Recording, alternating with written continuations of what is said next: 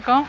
ஊராட்சி மன்ற தலைவர் கீதா கணபதி பேசுகிறேன் மதுராசிலேருந்து இங்கே கொரோனாவால் நிறைய மக்கள் எதுவும் பாதிக்கக்கூடாதுன்ட்டு நாங்கள் நிவாரணப் பொருள்லாம் கொடுத்துருக்கோம். அரிசி காய்கறி அதெல்லாம்.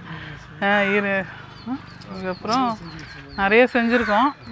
இருந்தாலும் மாஸ்க்கு அதெல்லாம் முகக்கவசம் கை அதெல்லாம் கொடுத்துருக்கோம். துப்புரவு பணியாளர்களுக்குலாம் அரிசி பருப்பு இதெல்லாம் கொடுத்துருக்கோம். நாட்கள் வேலை எப்படி?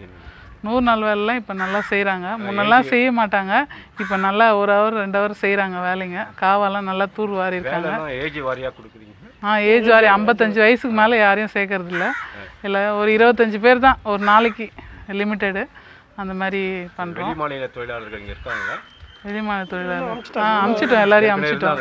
அமுச்சிட்டோம். அவங்களுக்கு ஒரு உதவியெல்லாம் வழங்கணும். அரிசி எல்லாம் கொடுத்தோம் அரிசி. இப்போ கொரோனா இங்கே பாதிக்கப்பட்டிருக்காங்களா? இப்போ ஒருத்தருக்கு ஒரே ஒரு பாசிட்டிவ் கேஸ் இன்னைக்கு வந்திருக்கு. ட்ரீட்மெண்ட் இருக்காங்க ஆ வீட்லேயே இருக்காங்க. எதுவும் சிம்டம்ஸ்லாம் எதுவும் இல்லை. இருந்தாலும் வீட்லேயே வச்சு உள்ளே தனிமைப்படுத்தி பதினஞ்சு நாள். ஆ அதெல்லாம் அடிச்சிருக்கோம். அதெல்லாம் அடிச்சிட்டோம். ப்ளீச்சிங் பவுடர்லாம் போட்டுட்ருக்கோம். நாலு நாள் ஒரு வாட்டி மூணு நாளைக்கு ஒரு வாட்டி. தலைவர் வார்டு மெம்பர் எல்லாம் ஒத்துழைப்பு ஆ எல்லாம் ஒத்துழைப்பு தராங்க. எல்லாம் எல்லாம் ஒன்றுபட்டு வந்து பாகுபாடு இல்லாமல் அனைத்து மக்களுக்கும் கொடுக்குறீங்களா? ஆ, கண்டிப்பா. எல்லாருக்கும் நாங்க யாருக்கும் எந்த இதுவும் இல்லை எல்லாரும் ஒத்தர் விடாம எல்லாருக்குமே கொடுக்குறோம். கொரோனா வந்து ஒன்றும் பயம் கிடையாது. வீட்டிலே இருக்கு வீட்டிரு வீட்டிலே விலகிரு வீட்டிலேயே இரு.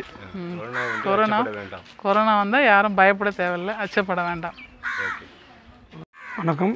மகாராஷ்டிர ஊராட்சியிலேருந்து பேசுனாங்க நீங்கள் கேள்விக்கெல்லாம் நான் பதில் சொல்கிறேன் என்ன கேள்வி? இந்த வீடு கொடுத்த எத்தனை பேர் பட்டாவெல்லாம் கொடுத்துருக்கீங்க?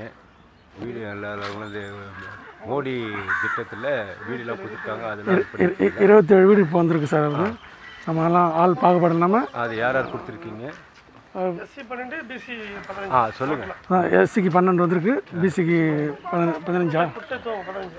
குட்டை வந்து தூர்வாழை இருக்கிறோம். பட்டா இல்லை. பட்டாக்காரரும் நாங்கள் பட்டா கண்டிப்பாக வாங்கி தருவோம். நல்லா கேட்டிருக்காங்க. அதுக்கு நம்ம நாள் முடிஞ்சது. அரசாங்கத்திட்ட சொல்லி கண்டிப்பாக நாங்கள் சில பேருக்கு வந்திருக்கு. சில பேருக்கு வந்திருக்காது. வந்திருக்கு. ரெண்டாயிரம் வந்து விவசாயத்துக்கு ரெண்டாயிரம் எல்லாமே வருது. வருது, வருது.